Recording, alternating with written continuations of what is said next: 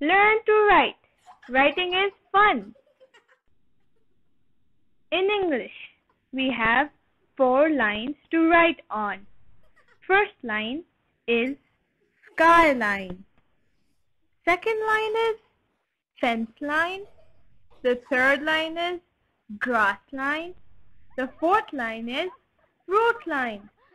Today we will learn the formation of letter Q. First we will learn the formation of small q. Put your pencil on the fence line. Make a curve, touch the grass line or make a semicircle. Now go up and touch the fence line again. Come down straight and touch the root line. Make a loop. Try again, kids.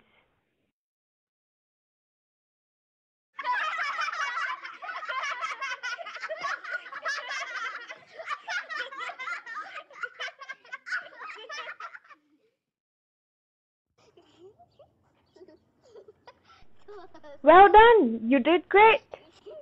Now we will learn the formation of capital Q.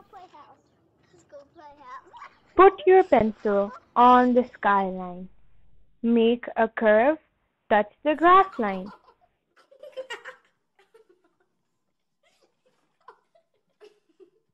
Now go up and touch the skyline.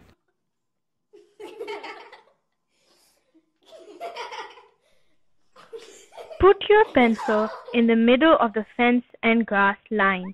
Make a slant. Try again, kids.